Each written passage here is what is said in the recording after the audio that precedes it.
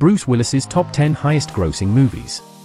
Glass, budget was $20 million, gross $247 million. Unbreakable, budget was $75 million, gross $248 million. The Fifth Element, budget was $90 million, gross $264 million.